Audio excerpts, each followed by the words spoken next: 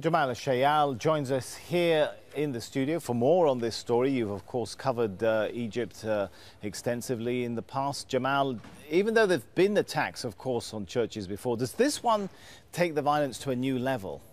Well, I mean, it's certainly uh, a, a, ghastly attack um, that has come in a, it's caught everyone by surprise. This is almost six years to the day since another massive attack on the Two Saints Church in Alexandria. If you remember on New Year's Eve in 2010, it was a huge attack. It was still the last days of the Mubarak regime. But ever since then, attacks have decreased, and definitely those that have taken place haven't taken place the same scale. What's significant about this attack, Sami, is it's in the heart of Cairo. Abbasiyya is a known uh, focal point for some of the biggest churches in uh, Egypt. So for something like this to happen is a stark reminder of uh, how vulnerable uh, some of the religious places are in Egypt. Why are we seeing this sort of resurgence then, Jamal?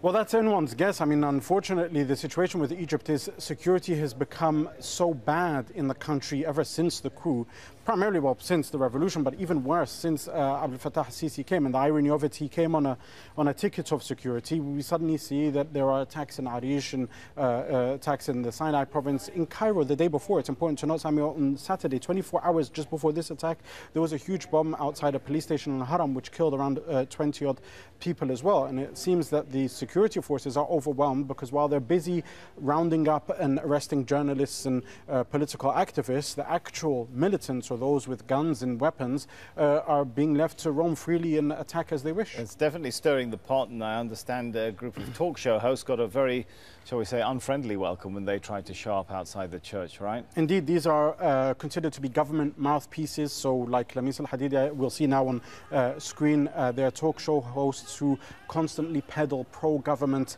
uh, ideas. And when they came to report outside it, the anger obviously was too much to bear for the mourners and the victims uh, there, and they took it out on them. And what's interesting about this is that it's not a manifestation of their opposition to these talk show hosts in so much as it's a manifestation of their opposition to the government, because you do not have the ability to dissent freely in Egypt now. So when there is an opportunity like uh, what has arose over the past 24 hours, you truly find uh, the opposition of the Egyptian public manifesting itself well, in these. It is very key when you see that coming from Coptic Egyptian circles, because there were those Coptic leaders who initially supported the coup against Egypt's first democratically elected president and were cheering for Sisi. Indeed. What, I mean, when, when Sisi came and he issued the uh, coup decree, so to speak, on July 3rd, he had the uh, leaders of the Coptic church sitting next to him, announcing it, and for a very long time they have been peddling it and supporting it as well. But this is also indicative of all sections of Egyptian society, which is the leaders or the figures or the icons of the society are in one place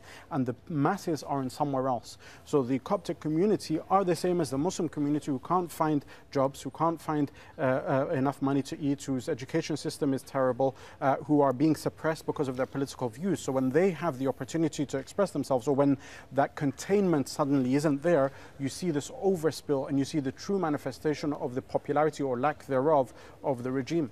All right. Thanks so much, Jamal Shayal.